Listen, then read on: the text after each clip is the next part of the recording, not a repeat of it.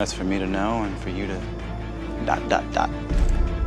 Welcome to Ms. Mojo, and today we're counting down our picks for the top 10 funniest Damon Salvatore moments. What's so special about this Bella girl? Edward's so wit. I mean, you hate me.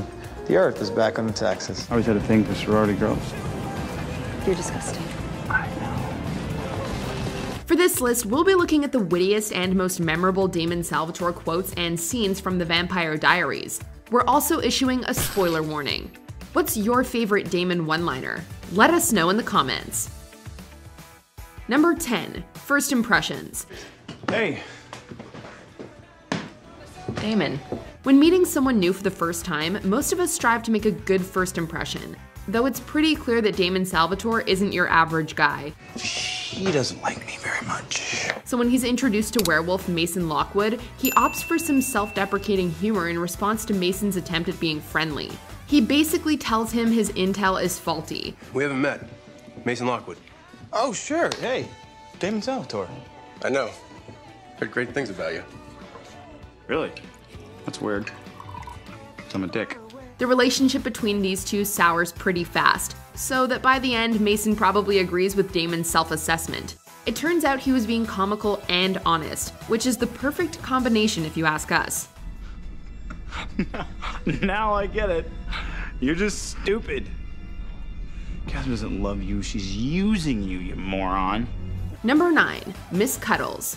You know, check the GPS again. Just because we don't see anything doesn't mean it doesn't exist. Not unlike Caroline's feelings for Stefan. Everyone can agree that a good stuffed animal can provide comfort and joy in dark times, no matter your age. A trapped Bonnie stores her magic inside her teddy bear, Miss Cuddles, and sends it to the mortal realm. When Damon finds it, he's not above having some fun. Oh no! Is Stefan feeling sensitive about ruining his friendship with Caroline? She really liked him and he broke her heart. See, Stefan? Even the bear knew. So when Stefan messes things up with Caroline, his big brother uses Miss Cuddles to poke some fun at him. He mimics the bear's voice, saying even she could see what happened between them coming. I saw that from a mile away and my brain's made of cotton. Miss. It's definitely a nice moment of comic relief amidst the drama, wrapped in an adorable bear package. We only have one question where can we get one? Miss Cuddles one. Invisible creepy mansion zero. Number 8 Learning to spell doppelganger. It's no secret that the Vampire Diaries love to play with different supernatural phenomena. First drop the step and look. what? One example of this was the continuous use of doppelgangers throughout the years. Even the most loyal fans might have lost track of how many there were. So when Silas tells Damon that Stefan is actually his doppelganger, he says he might have to learn to spell the word if he keeps hearing it. If I have to hear the word doppelganger one more time, I think I'm gonna actually have to learn how to spell it. What makes this extra humorous is the fact that the writers are poking fun at themselves. In reality, Damon is just saying what the viewers are thinking. It's funny because it's true. A, get out of my head. B, I think I'd know if my little brother had an evil twin. Number 7. Taylor Swift fan. The eldest Salvatore brother is a catch and he knows it. I've decided to stay a while. And I'm just having way too much fun here with you and Elena. So when Stefan tells him that Elena wears a vervain necklace that protects her from being compelled, he's a little offended. Damon quips that he doesn't need to get inside her head that way. Some girls just can't resist my good looks, my style, and my charm, and my unflinching ability to listen to Taylor Swift. According to him, some girls simply can't resist him. He's attractive, charming, and can get down with some Taylor Swift. Honestly, we can't say we disagree with him. He may be a villain at this point, but these witty remarks definitely make him an endearing one. This is John Varvatos, dude. Dick move. We wonder if Damon is more of a folklore or fearless era Swiftie. Number 6. Explosion Denial. What do you do if people are accusing you of a crime you didn't commit? Well, don't look at me. I always take credit for killing people. Seriously, stop looking at me like that, Liz. If I was gonna kill 12 people, I wouldn't blow them up. I'd have a dinner party. Well, if you're Damon, you make sure to add a little bit of sarcasm and attitude to your denial. After an explosion kills members of the Founders Council, nobody knows who's responsible except the viewers. Friends, we are the beginning.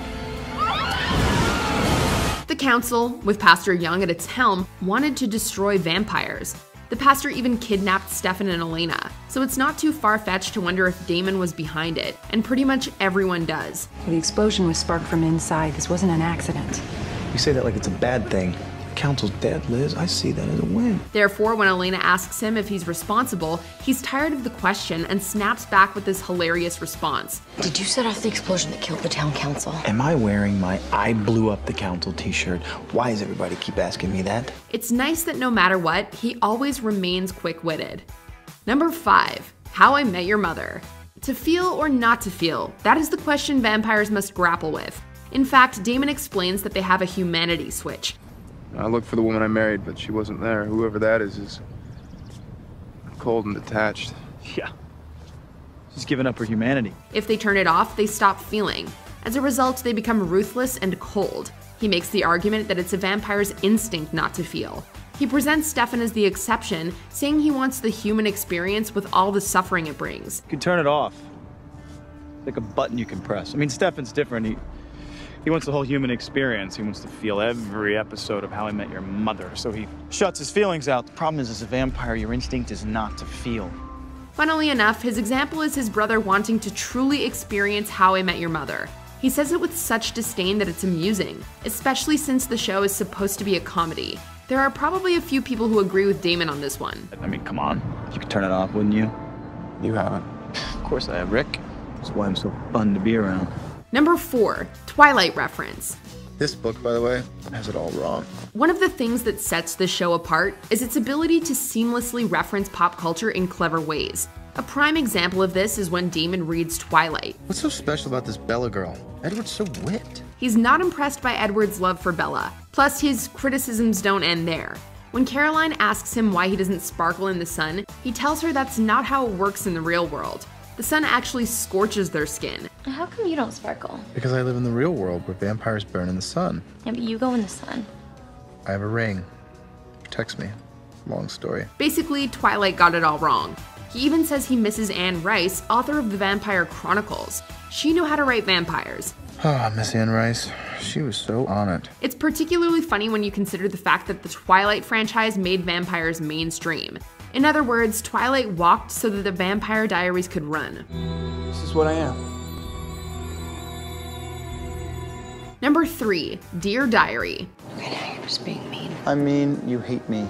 The Earth is back on its axis. Damon and Stefan are vastly different from one another, with Damon being free spirited and Stefan being more serious. At this point, Stefan is struggling, recovering from a Ripper rampage. He did a lot of things he regrets while his humanity was off, even almost hurting Elena.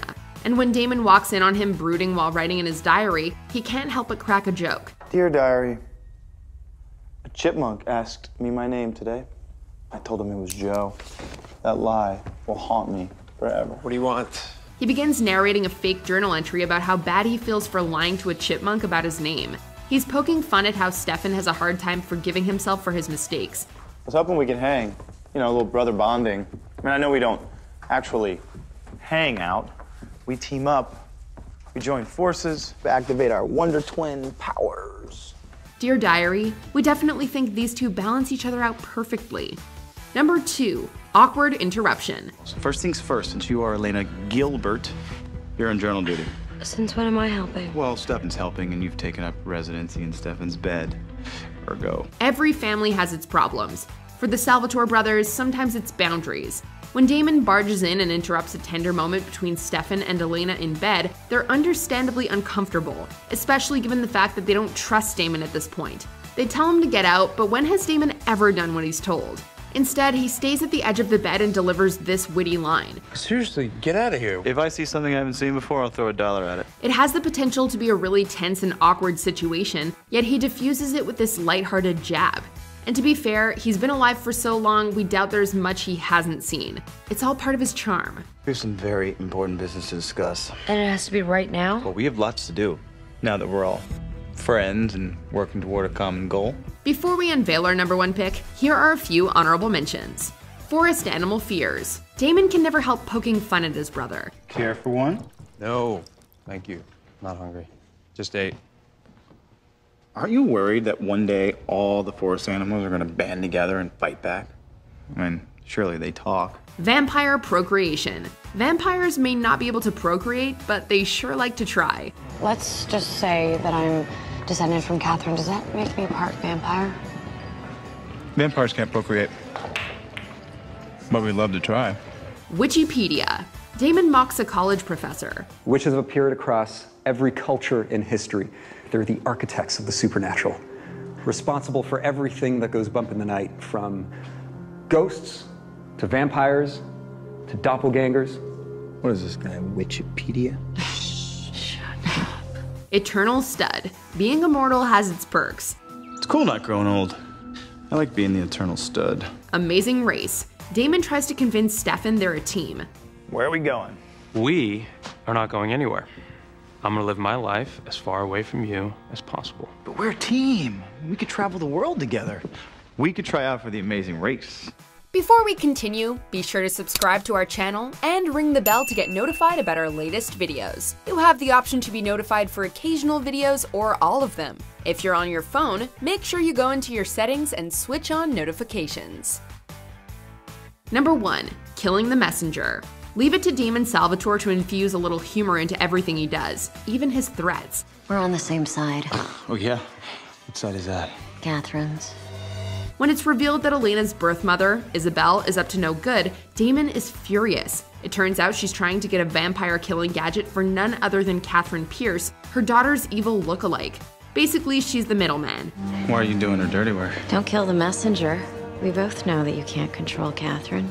However, Damon doesn't buy into the old don't shoot the messenger adage, which he makes crystal clear with this line. You do not come into my town, threaten people I care about. Going after Elena?